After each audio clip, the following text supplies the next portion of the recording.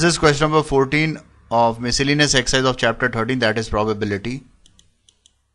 The question is if each element of a second order determinant is either 0 or 1.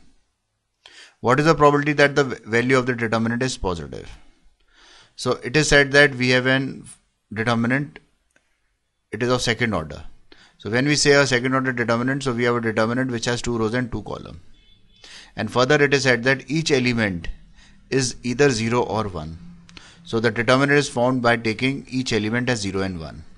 And further we have assumed we have to assume that the individual entries of a determinant are chosen independently each being assumed with a probability of 1 by 2 okay. So it is like this that uh, to solve this question first of all we we consider that we have a determinant like this. So it has four entries. Entry can be 0 or 1 and it is said that the entries are given to this determinant either uh, to each element of the determinant as 0 and 1 with a probability of 1 by 2 that is there is an equal possibility that uh, the element can be 0 or 1 okay.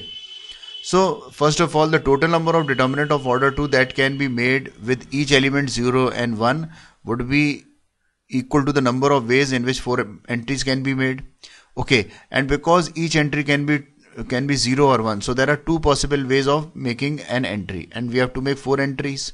So the total number of the determinants would be formed that would be equal to 2 into 2 into 2 into 2 that is equal to 16 okay and uh, the determinants which would be formed which can be made would be like this. First of all we consider these four determinants in which we have 1 1 as the entry of uh, the first row.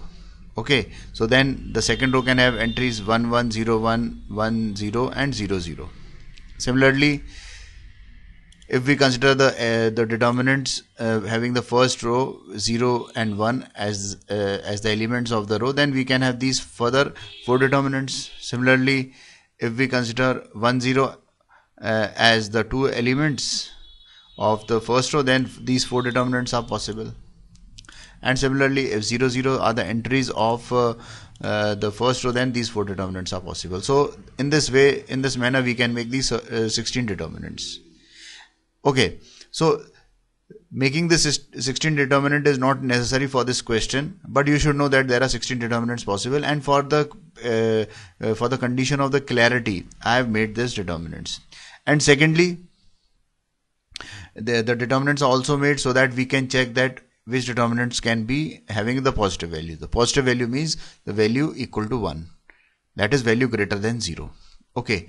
So all these determinants are going to be 0 because they have a 1 row 0 and these, these and these. And so we have to uh, check for the determinants which are going to have a positive value and we can easily say that we can easily observe and find that this determinant this determinant and this determinant. These three determinants are going to have have a positive value. Other determinants would be such they are going to have a zero value or the value equal to minus 1 so there are three determinants which are possible like this. So the probability that the value of the determinant is positive is equal to 3 by 16 which is the required answer. Friends thanks for watching my video to watch more of these super videos and for the latest updates, subscribe and like the videos on these channels on YouTube, HSK Shiksha and Math Help by HSK. Thank you.